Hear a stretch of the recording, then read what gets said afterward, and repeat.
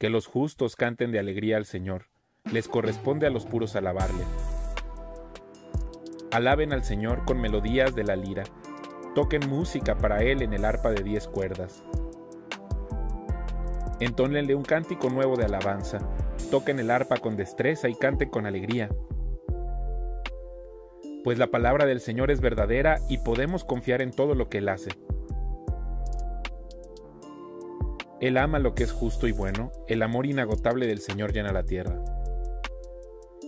El Señor tan solo habló y los cielos fueron creados, sopló la palabra y nacieron todas las estrellas. Asignó los límites al mar y encerró los océanos en enormes depósitos. Que todo el mundo tema al Señor y todos estén ante Él con temor reverente. Pues cuando habló, el mundo comenzó a existir, apareció por orden del Señor. El Señor frustra los planes de las naciones y hace fracasar todas sus intrigas. Pero los planes del Señor se mantienen firmes para siempre, sus propósitos nunca serán frustrados. Qué alegría para la nación cuyo Dios es el Señor, cuyo pueblo Él eligió como herencia. El Señor mira desde el cielo y ve a toda la raza humana. Desde su trono observa a todos los que viven en la tierra. Él hizo el corazón de ellos, así que entiende todo lo que hacen.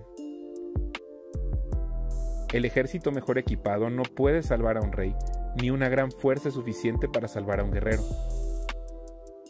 No confíes en tu caballo de guerra para obtener la victoria. Por mucha fuerza que tenga no te puede salvar. Pero el Señor vela por los que le temen, por aquellos que confían en su amor inagotable los rescata de la muerte y los mantiene con vida en tiempos de hambre.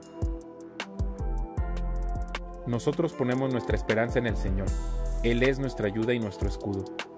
En Él se alegra nuestro corazón porque confiamos en su santo nombre. Que tu amor inagotable nos rodee, Señor, porque solo en ti está nuestra esperanza.